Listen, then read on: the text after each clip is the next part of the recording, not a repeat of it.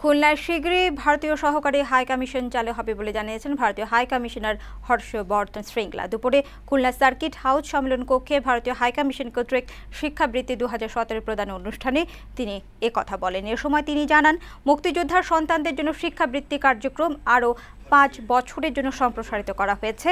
এ প্রকল্পের আওতায় আরও দশ হাজার শিক্ষার্থীকে পঁয়ত্রিশ কোটি টাকার বৃত্তি প্রদান করা হবে। অনুষ্ঠানে জেলা মুক্তিযোদ্ধার সংসদের নেতৃবৃন্দ, খুলনা জেলা পরিষদের চেয়ারম্যান, বিভাগীয় কমিশনার আব্দুল সামাদ, ভারতীয় দূতাবাসের উচ্চ পদস্থ কর্মকর্তার উপস্থিত ছিলেন।